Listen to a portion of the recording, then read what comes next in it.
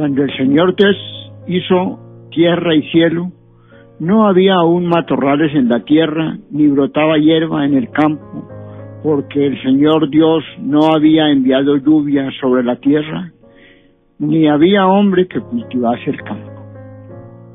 Solo un manantial salía del suelo y regaba la superficie del campo. Entonces el Señor Dios modeló al hombre de arcilla del suelo, sopló en su nariz un aliento de vida y el hombre se convirtió en ser vivo. El Señor Dios plantó un jardín en Edén hacia oriente y colocó en él al hombre que había modelado. El Señor Dios hizo brotar del suelo toda clase de árboles hermosos de ver y buenos de comer.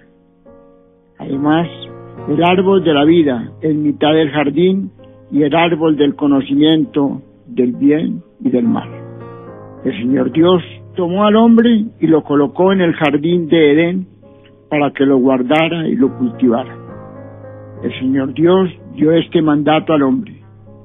Puedes comer de todos los árboles del jardín, pero del árbol del conocimiento del bien y el mal no comas, porque el día en que comas de él tendrás que morir. Bendice alma mía al Señor. Bendice alma mía al Señor, Dios mío, qué grande eres.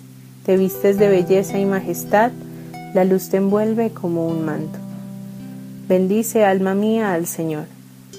Todos ellos aguardan a que les eches comida a su tiempo. Se las echas y la atrapan. Abres tu mano y se sacian de bienes. Bendice alma mía al Señor. Les retiras el aliento y expiran, y vuelven a ser polvo.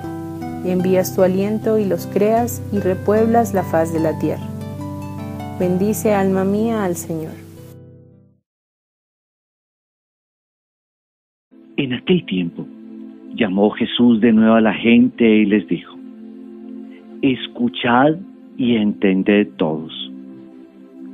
Nada que entre de fuera puede hacer al hombre impuro. Lo que sale de dentro es lo que hace impuro al hombre. El que tenga oídos para oír, que oiga. Cuando dejó a la gente y entró en casa, le pidieron sus discípulos que les explicara la parábola. Él les dijo, ¿tan torpes sois también vosotros? ¿No comprendéis?